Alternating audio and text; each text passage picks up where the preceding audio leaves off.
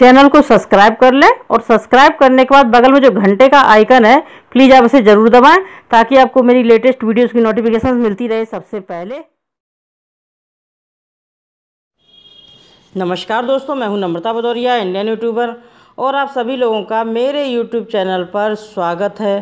तो दोस्तों, आज की इस वीडियो में मैं आपको बताने जा रही हूँ कि अगर आपके कान में कांतर घुस जाए या आपको कातर काट ले तो आप कैसे उसका इलाज करेंगे? इस घरेलू नुस्खे से। यानी डॉक्टर के पास तो आप जाएँगे ही, लेकिन सबसे पहले आप घर में अपना ये इलाज कर लें, यानी होम रेमेडी से इलाज कर लें, उसके बाद आप डॉक्टर को ज़रूर दिखाइएगा जा कर के, क्योंकि उससे आपको होगा क्या? आपके कान में नुकसान नहीं होगा।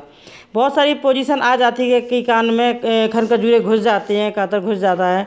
तो चलिए उसके निजात पाने के लिए हम क्या कर सकते हैं इस घरेलू नुस्खे से? तो चलिए मैं आपको बताती हूँ। दोस्तों, यहाँ पर सबसे पहले हम लेंगे एक खाली बाउल और इसमें डालेंगे गुनगुना पानी। और हमें गुनगुना पानी लेना है, ज़्यादा गर्म नहीं, हल्का गुनगुना ही लेना है।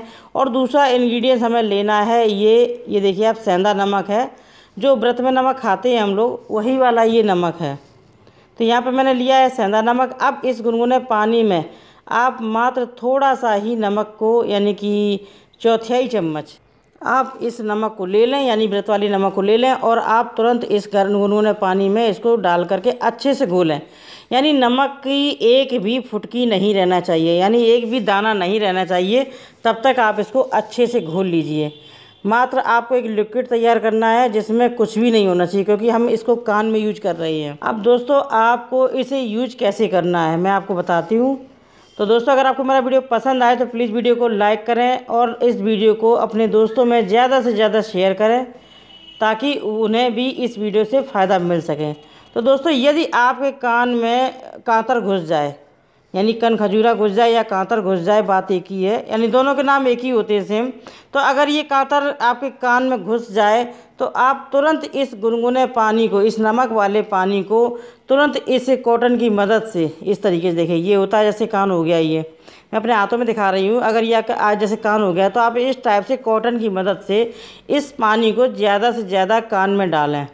इस तरीके से इस कॉटन को डुबोइए इस पानी में और इसमें तुरंत ज़्यादा से ज़्यादा आप पानी को डालें कान में।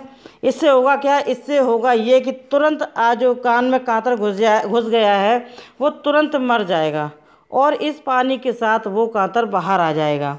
तो इससे होगा ये कि आपके कान में कोई भी प्रॉब्लम नहीं होगी, क्योंकि कांतर घुस जाएगा कान में तो हो सकता है कि आपके पर्दे में जो कान का पर्दा होता है, वो बहुत ही ज़्यादा नाजुक होता है।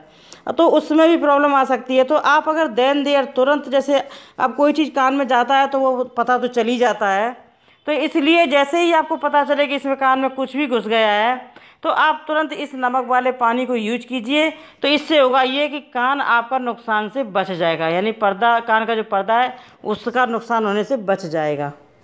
तो दोस्तों, इस तरीके से आप अपने कान के पर्दे को बचा सकते हैं और कानों में कोई भी नुकसान होने से आप बचा सकते हैं। तो दोस्तों, इस तरीके से आप इस होम रेमेडी को यूज़ कीजिएगा।